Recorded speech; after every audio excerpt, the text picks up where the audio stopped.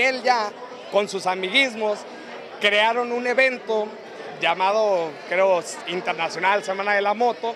para jalar hacia sus arcas, a sus conocidos, al parecer hasta su hijo anda ahí de por medio, junto con otra gente oportunista de, de otros clubs que no tienen nada que ver con lo que es realmente lo que es la legendaria Semana de la Moto. Por eso nos estamos también aquí manifestando con todos los demás afectados, como ya pueden ver, locatarios, personas de diferentes colonias que les han prometido y no les han cumplido. Lo peor del caso es que ni siquiera da la cara y no da argumentos, simplemente se cierra a decir no porque yo no quiero, lo cual pues no es válido. Estamos buscando todas las medidas legales que están a nuestra disposición porque no es justo que una persona con egoísmo y con cinismo quiera destruir lo que el pueblo mazatleco ha tardado tanto en construir. Nosotros tenemos 25 años poniendo en alto el nombre de Mazatlán, de Sinaloa y de México.